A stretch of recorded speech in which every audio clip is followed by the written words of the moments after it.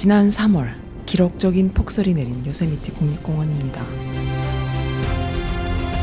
그래서 공원이 문을 닫는다고 해서 이번에는 그 웅장함을 볼 수 없나 보다 하고 모두들 아쉬워했습니다.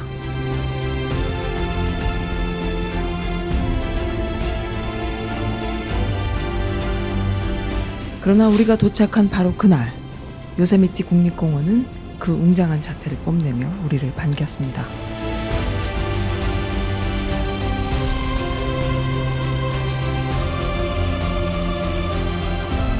케이팩 멤버 워크샵 그 두 번째 이번에도 역시 작년과 마찬가지로 요세미티의 더 파인스 리조트에서 열렸는데요.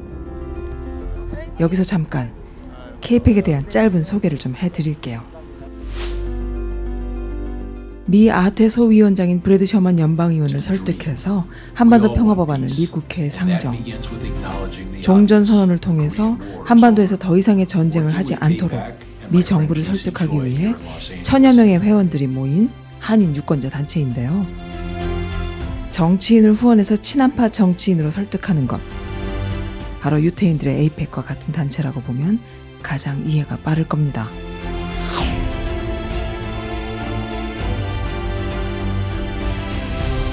그런데 이번 워크샵이 케이팩에게 무척 특별한 이유가 있답니다.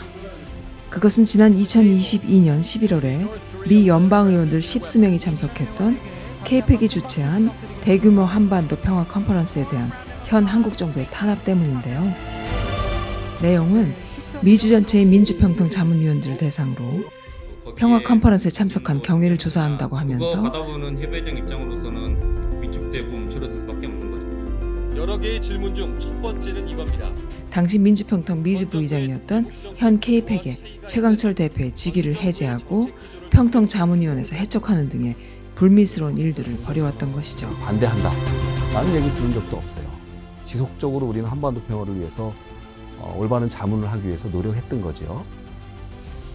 랠리가 뚫렸습니다. 그래서 하지만 미국 시민권자들의 자유로운 유권자 운동을 상대로 한국 정부가 간섭할 수 있는 일이 과연 있을까요? 오히려 외교 분쟁으로 비화될 수 있는 위험스러운 일이라는 의견이 지배적이었는데요. 덕분에 작년에 비해서 두 배가 넘는 분들께서 이번 워크숍에 참석해 주셨습니다.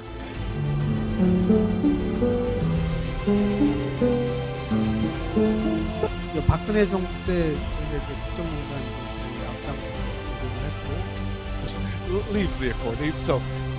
또한 프로그램은요 한국과 미국 전역에서 참석한 60여 분이 넘는 회원분들과 더불어 에이펙의 유태인 패널까지 한 자리에서 만나서 열띤 토론을 벌였는데요. 참 불쌍했구나. 미국의 손에 왔다 갔다 했구나. 홍보를 하셔서 우리가 이런 거를 배워야 되겠다 하는 거를 하는 거예요. 이쯤 되면 메이저 방송국도 기획하기 힘든 말고. 멋진 토론이 아니었을까요?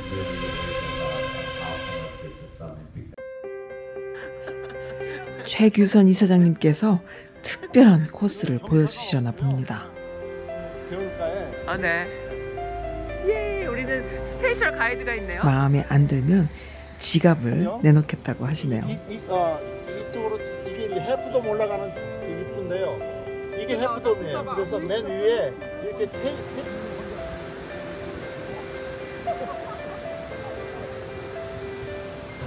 이렇게, 이렇게까지 많잖아. 글쎄 근데 말이에요. 이거보다 더 많이 내려올 거예요. 지금 위에서 눈이 아직 안 녹았어. 그러니까요. 와, 이 물소리. 물멍에 한번 빠져볼까요?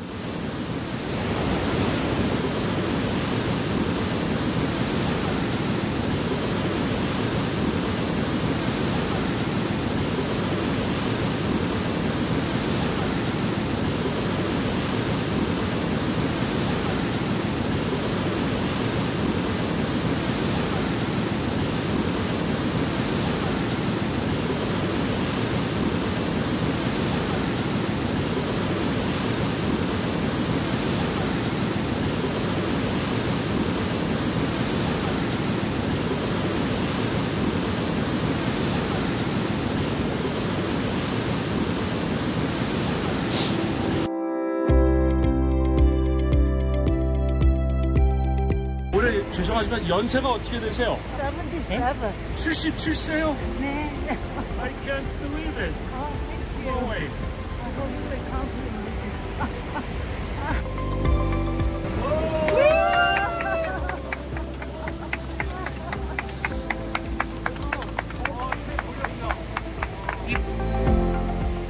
한반도 평화의 그날이 과연 올까요? 네. K-팩 멤버분들이 이 정도 열정이라면 평화의 그날이 반드시 올 것입니다. 사실 K-팩은 특별한 점이 있습니다. 그것은 바로 대한민국의 촛불 저항 정신을 그대로 계승하는 민초들의 모임이라는 것인데요. 덕분에 대한민국의 세계적 평화 저항 운동인 3.1 만세 운동을 계승하는 의미에서 브래드 셔먼 연방의원은 한반도 평화법안 1369를 3월 1일에 재발의했습니다.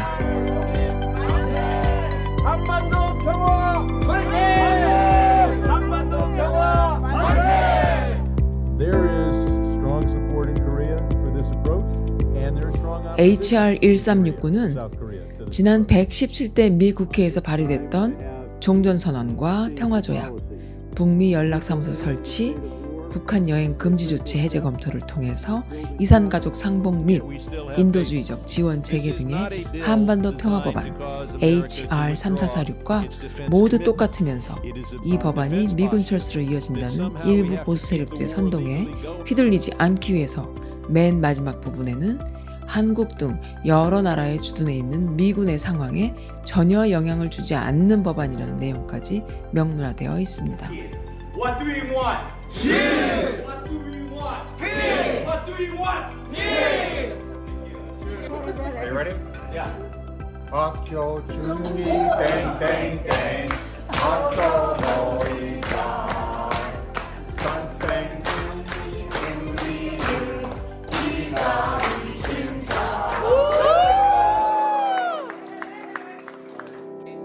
네, 맞습니다. 이것만 보더라도 K-팩은 대한민국의 민초 정신이 고스란히 미국의 유권자 운동으로 전환된 것을 알 수가 있습니다.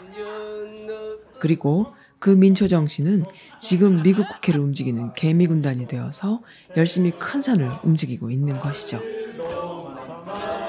이 끊임없는 노력, 수많은 분들의 단합된 마음, 통큰 기부와 열렬한 봉사가 함께하는 이 길에 여러분들도 함께 하고 싶으시죠? 네, 굉장히 감동받았고요. 가능한 한 좀 많이 참석을 해서 작은 밑돌 하나 같이 놓고 갈 수 있는. 앞으로 이런 모임이 더 커지고 정말 미국 한반도 외교 정책에도 적극 영향을 미치는 간절한 마음으로 오늘 또 여기 이 독립운동 하셨던 분들의 여기 유적지에 오기도 했는데 에, 지금 현재에서도 우리 한반도의 평화와 독립과 통일을 위해서 우리 열심히 일하고 있고 너무나도 뜻깊은 행사가 아니었나 생각됩니다. It's really important that uh, Korean unification happens because where we come from, much as American that we are, we go through life as Koreans. So it is important that we unify Korea. 근데 작년보다 올해가 더 많은 분들이 올라오셨어. 아 그래요? 의미를 부여하자면 우리가 좀 더 계속 발전한다는 그런 느낌이 있어서 더 좋았어요. 네, 왜냐면 이제 우리의 피처니까 네. 이 어린 아이들이 같이 참석을 해서 어떤 만약에 나중에 기회가 되면 어린이들의 시간 앞으로 여기 계신 분들이 더 열심히 노력해서 빨리 한국이 어, 긴장이 완화되고 평화로 갈 수 있는 그런 분위기가 만들어졌으면 좋겠습니다. 강대국에 둘러싸인 한반도의 지정학적 위치는 어느 강대국에도 치우치지 않는 긴밀하고 꼼꼼한 외교력을 펼치면서 긴장을 평화로 전환해야 하는 숙명을 가지고 있다는 것은 누구도 부인하지 못할 것입니다.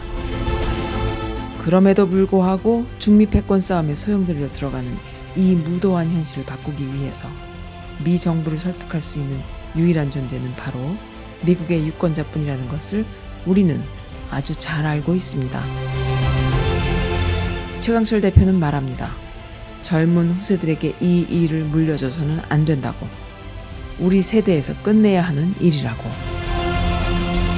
먼저 종전을 이루고 한반도의 평화가 정착되어야만 우리는 이 무서운 분열의 길을 멈추고 하나가 될 수 있다고.